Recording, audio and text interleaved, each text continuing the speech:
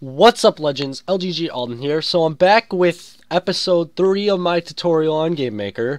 Today we'll be making a basic menu. So, kind of like what you would do before you play the game. So for this, we're going to need to create another room. So, create room. Now, we'll name this one RM underscore menu. And you don't have to change anything with the size. You can leave all that. Now, click check mark and put that one make sure to line it so menu goes first because it always plays it goes in the order. So it starts off with the room that is aligned first. So rm underscore menu will go first. You want it to run first because it runs before you play. So now we're going to create a sprite. We'll name it spr underscore play or s just play okay. So edit sprite. Now we'll make it a height of or a width of 128 and a height of 64. Actually, let's make this 256. It'll work a little better. Okay, so that should be fine. Now, what we're going to do is we'll take the text one and we'll write the word play. Now, let's change the font size, make it a little bigger, make it bold, and we'll do well, looks like a cool font that I have. And you could do this with whatever font you want. We'll just do... Hmm... I don't know. Let's let's just go with what's it called? Where is it? Um Distant Galaxy. That that's fine. Um we'll make it size 20. Color will be black. Nah, actually, might need to be a little bigger. 48 should be fine. Yup, that's perfect.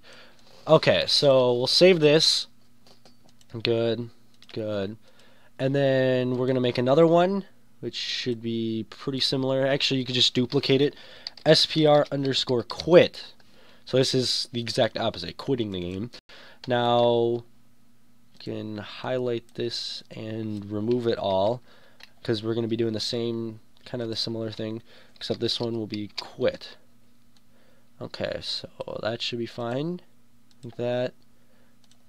And then, yeah. Okay, so now you need to create the objects. So obj underscore play. And then give it the sprite. Now here's where you add an event. Okay, so you're going to add mouse and left button. So this is when the left button is pressed on the mouse. Or actually, hold up change this event. Mouse left pressed. So this is when it's pressed. It's going to go, it's going to do whatever code is here. So the code we're going to use is room underscore go to. And in here you put parentheses and then you name the room. So this one will be RM, and then, like I said, this is upon calling it.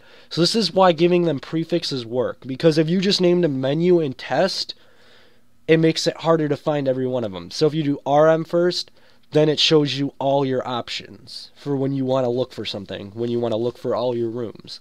So this one we're doing test, parenthesis, close it, there we go. Um, okay, so we have that, and then you're going to duplicate this now, and the same thing you'll do obj underscore quit. Now instead of making it when you go, it'll room go to, you'll do game underscore end. So this is basically going to end the game and close it out, pretty much. So now we'll go into the menu, and we're going to add the objects, same way you add the other ones. And we'll put play, and we'll also put quit. Oh, wait, didn't change the sprite. That comes in handy. There we go. Now let's make sure that looks... Oh, wait, wrong room. Let's make sure that looks fine. Play and quit. Okay, so now we can run it and we'll test it and make sure it looks all good. So there we go. So we have play, which will take you to the playroom, and then X out of it will restart it. And then you have quit. So if you click it, it just closes out of it. So that should be pretty much it for a simple menu. We can always that can always be built upon. You can add more to it. But and that's also kind of a tutorial on how to make a basic button in the game in GameMaker. But that'll probably be it for this tutorial. not much to it, just simple menu. But uh, if you guys have any questions or if anything you need that isn't working and you need help, just feel free to comment it and I'll hopefully answer your questions for you. And also, if you want to see anything in future tutorials, make sure to comment it. But other than that, guys, thanks for watching, and I'll see you guys next time.